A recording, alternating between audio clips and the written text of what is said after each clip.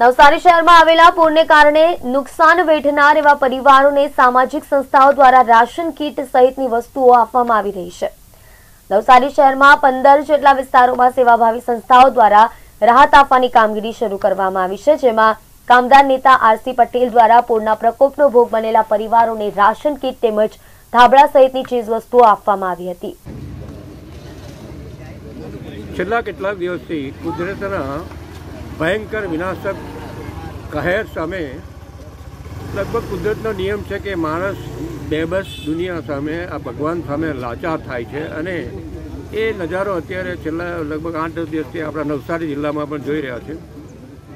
News જોતો હતો અને હૃદય દવી જતું હતું. મને પણ થતું હતું ક્યાંક કે આ બેસહારા બેબસ માણસોની પરિસ્થિતિને ચોક્કસ પહોંચી વળ્યું. પહેલાં સૌથી મોટા મોટો આપણો માનવ ધર્મ છે. બાકીના બધા ધર્મો જે પણ કરતા હોય, પણ સૌથી શ્રેષ્ઠ ધર્મ હોય તો એ માનવ ધર્મ છે. માનવ ધર્મને અનુસરીને બેઝિક મારી નીતિ છે કે કુદરતે બનાવેલી દુનિયામાં જ્યારે માણસો જ વિનાશ સર્જે, ત્યારે તેના ઉપાય હોય છે. પણ આ જ કુદરતે બનાવેલી ધરતી પર ખુદ ખુદા જ્યારે વિનાશ સર્જે, ત્યારે માણસ એની સામે લાચાર થઈ જાય છે.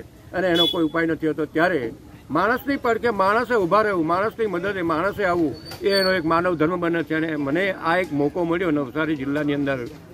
માણસોની સેવા કરવાના કે જે બિચારા બે સહારા છે બેબસ છે, બિલકુલ લાચાર છે.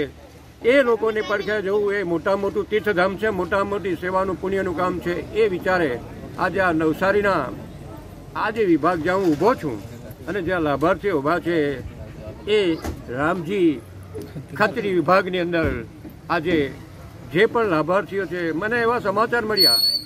એક તો ટીવી નાઇનના માધ્યમથી ગઈકાલે સાંભળ્યું કે ખાસ કરીને તમારા પ્રવક્તા બોલતા હતા કે લગભગ પચાસથી સાઠ પરિવાર એવા છે કે છેલ્લા પાંચ દિવસથી એ લોકો સૂઈ નથી શક્યા. એમની પાસે સુવા માટેના ગાદલા નથી કે ચાદર પણ નથી. નાના બચ્ચાઓ સાથે એ બિચારો આખી રાત ઉજાગરા કરે છે અને મારા દિલની અંદર એક ફિલિંગ થઈ અને મેં કહ્યું એમને કે ઇમિડિયેટ એક પણ દિવસ કાઢ્યા સિવાય આપણો પરિવાર આ રીતે જીવતો હોય તો આપણે એની અંદર કેવી રીતે આપણું પોતાનું માનસિક સંતુલન જાળવી શકે ડુ ઇટ અર્લી ઇમિડિયેટ કરો અને એકદમ તાબડતોડ પવન વેગે મેં તૈયારી કરી. મેં નક્કી કર્યું હતું કે આજે સાંજ સુધીમાં જે ચાર દિવસથી જે પરિવારો સૂઈ નથી શક્યા, એ પરિવારને આપણા આપેલા તકિયા, ગાદલા અને ચાદર પર સૂઈ એ મારી મહત્વતાને એ પૂરી કરવા માટે હું આવ્યો છું. અને લગભગ ત્રીસ પરિવારોને આજે આ તમામ સામગ્રી પૂરતા પ્રમાણમાં મેં એમને આપી છે. મને ખુશી એ જ બાબતની છે કે અહીં જે હું આવ્યો છું અને પ્રેરાયો છું એમાં દુનિયાના માધ્યમો તો ખરા જ પણ ટીવી નાઇન જે મીડિયા છે એને સૌથી અગ્રેસર મને અહીં ખેંચી લાવવામાં મોટામાં મોટી તાકાત વાપરી છે. એ બદલ આ મીડિયાને પણ ખૂબ